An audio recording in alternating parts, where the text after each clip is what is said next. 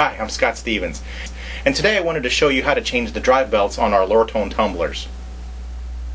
Alright, we're going to start with the uh, Model 3A. This is the single barrel model.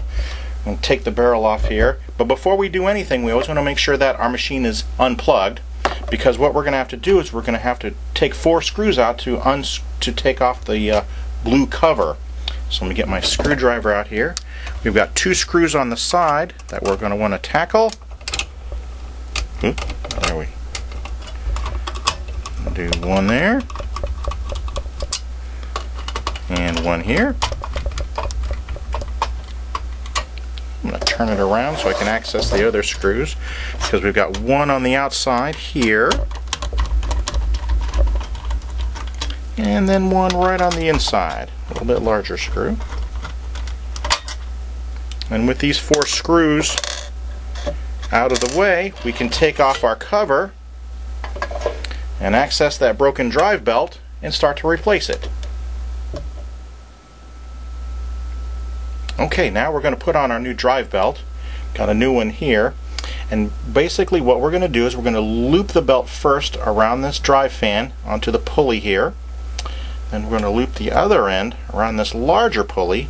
It won't be very tight, so you should be able to do it, slide it on very easily with your fingers. And there we go. We're ready to put our cover on, screw it back together, and plug it in, and we'll be ready to go. Accessing the drive belts on the 33B and the 45C tumblers is a little bit easier, so let's find out how to do that. Alright, with the 45C and the 33B model, we'll do basically the same thing. Remove our barrel, get that out of the way, again, making sure it's unplugged. But instead of taking the entire cover off, we just have to access this silver cover right here by removing one screw. Removing the cover.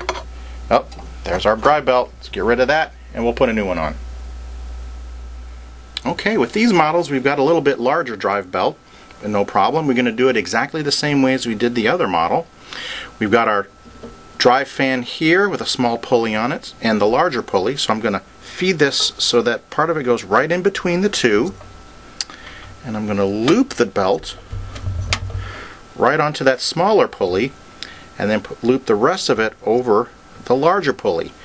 Now it's a little bit tight fit in here so I'm going to take something like a pen here something that's not sharp and use it to push the drive belt onto the larger pulley as I turn it and there we go. It's right on. Put our silver cover back on, plug it in, and we'll be ready to go too. With spare parts from us, you can keep your Lortone tumblers running for years to come. This is Scott from FDJTool.com.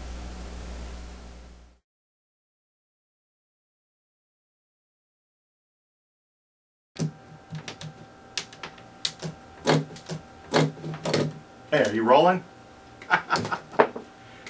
Sorry.